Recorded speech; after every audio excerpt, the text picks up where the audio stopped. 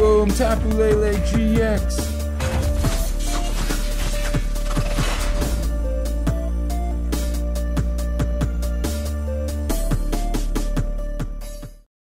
What's good, guys? WiseD24 here. You know what it's time for. Pack versus pack. I got two base Sun and Moon packs today. We're going to go into those and see which one can win. And you might be wondering why I didn't do a Shining Legends episode today.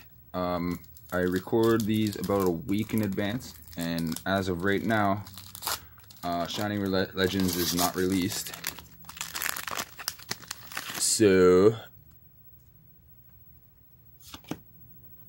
two, three.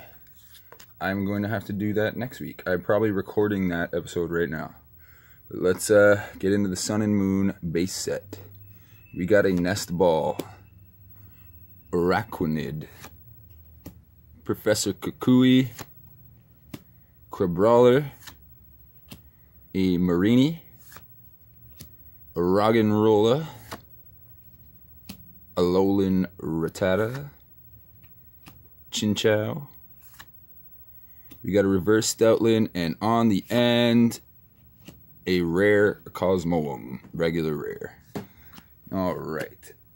So regular rare in pack one. Let's see what we can do in pack number two. Got that full art Noivern GX last week on pack versus pack. If you uh, didn't see that, definitely go check that out. I know I just spoiled it for you, but who knows? Maybe I could have got something sweet in the online codes. All right. Let's go. Metapod. got a Lillie. A Yungoos. Surskit. A Wingull.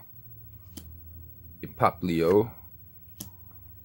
Growlithe reverse Fromantis, and on the end, boom, Umbreon GX.